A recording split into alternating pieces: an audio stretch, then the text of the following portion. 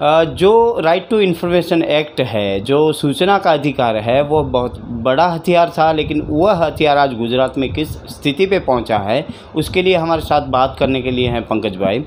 पंकज भाई, मैं ये जानना चाहूँगा कि आज की स्थिति में आरटीआई गुजरात में कैसे वर्क कर रहा है?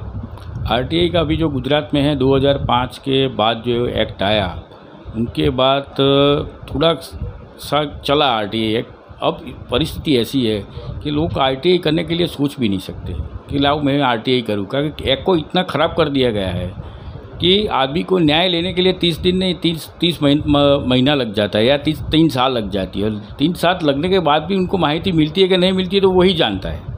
एक ऐसी परिस्थिति है गुजरात के अंदर। पंकज भाई तो यह एक्ट है उस एक्ट को जानबूझकर इतना खोखला कर दिया गया कि गवर्नमेंट का या सरकारों का भ्रष्टाचार बाहर ना आ पाए।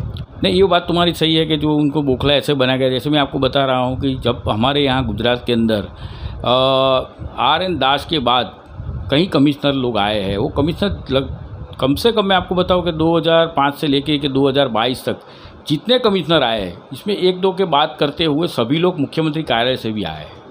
जो मुख्यमंत्री कार्यालय में काम करते थे, बाद में वो लोग निवृत्त हुए। निवृत्त होने के बाद इनको माहिती कमिश्नर की कुर्सी पर बिठाया गया। यानी कि एक बात समझो कि अगर सरकार में से आता है तो सरकार का भ्रष्टाचार कौन बाहर बाहर निकलेगा?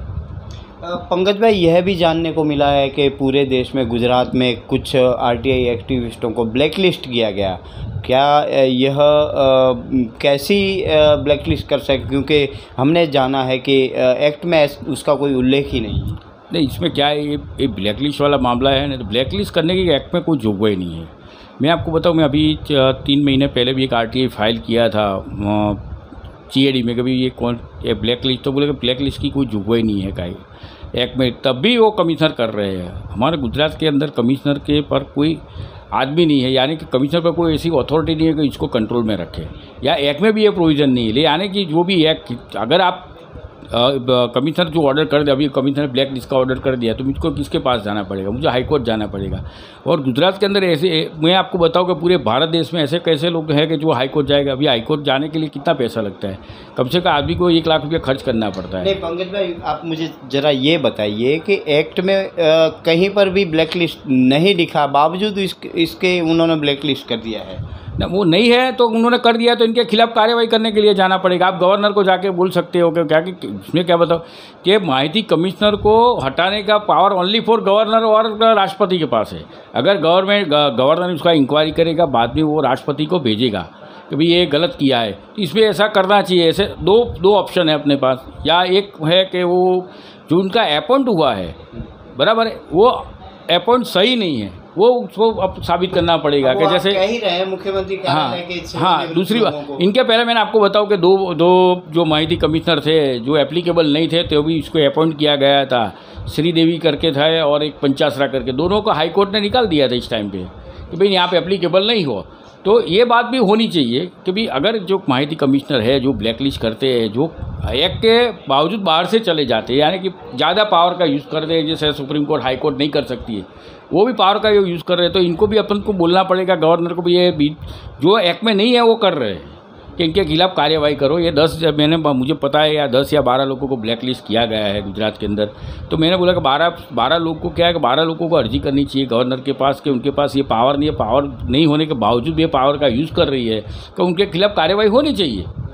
पंकज भाई क्या ऐसे हालातों के चलते गुजरात में से भ्रष्टाचार आप लोग खोज पाते हैं या बहुत टेढ़ी खीर हो गई है?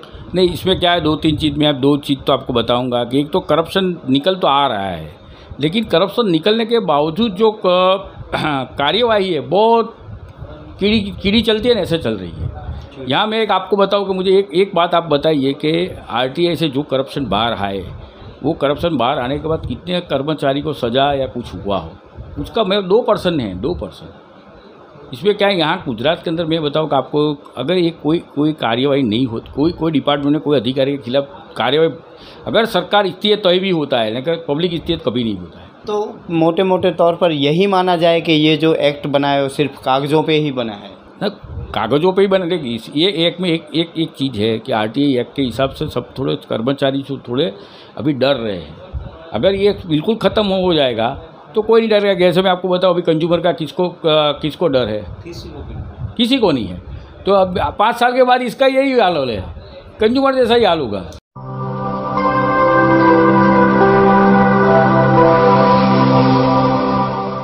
जन ज्वार जनता की